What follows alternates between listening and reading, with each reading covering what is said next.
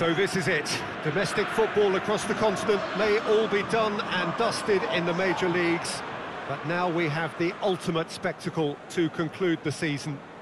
The earliest phase in qualifying started way back at the beginning of last summer, and now there are just two teams standing. A show not just for the capacity crowd here, but one for the whole world. The global audience, they say, some 300 million. So we have to find a winner, and this is the only way.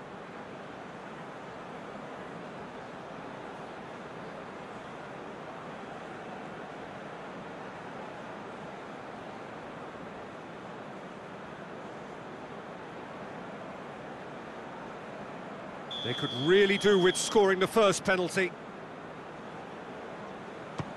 And he's found the net. Looks like he's done it a thousand times. Never looked like missing.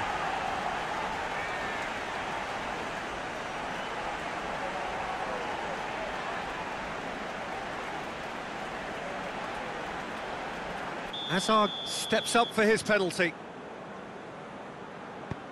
Oh, what a save! I think the keeper's done really well to save that, and he deserves a pat on the back from his teammates. So the ball is placed on the spot.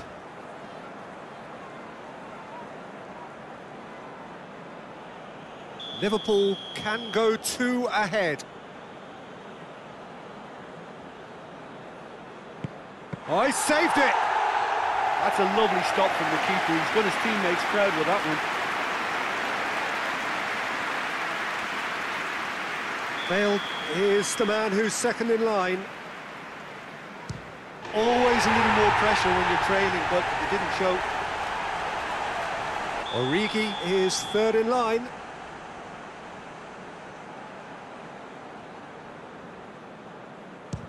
Oh, the keeper could have stood still and stopped it.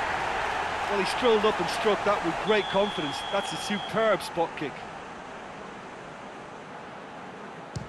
Good penalty, completely wrong-footed the keeper. Wijnaldum comes up, their fourth taker.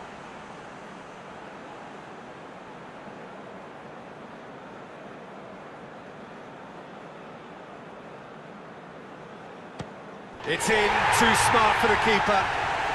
How confident was that? Backed himself all the way. No, it's been saved. He was so focused there. Fantastic save.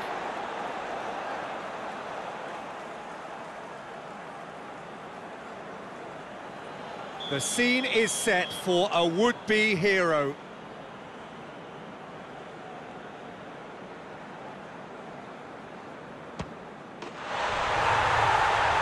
That's won it! Simply, the big day was their day. A day for them and their fans, a truly proud line in their history. What a moment this is for all connected with the team. It's a day for pride, a day for glory, another grand chapter to be added to their glittering history.